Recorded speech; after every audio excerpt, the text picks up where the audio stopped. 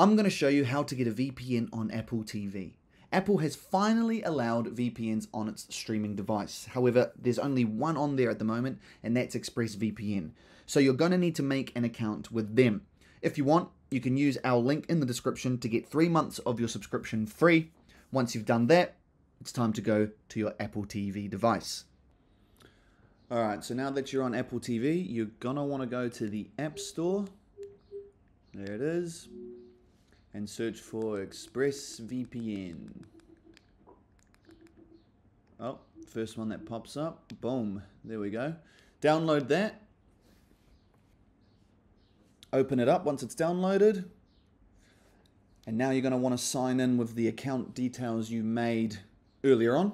You can use the QR code here or sign in with email. I'm just going to use email and my password. And then once you're signed in, it's going to bring you to this page. You do have to accept their privacy policy to use ExpressVPN. Just go agree and continue. Set up your VPN, continue, allow. Uh, you can opt in to help improve ExpressVPN completely up to you. I'm going to say, yep, go for it. And there you go. Now you have ExpressVPN on Apple TV. If you go down here to your smart location, you can change uh, what country you want it to look like you're connecting to the internet from. So for my example, I'm going to do the United States.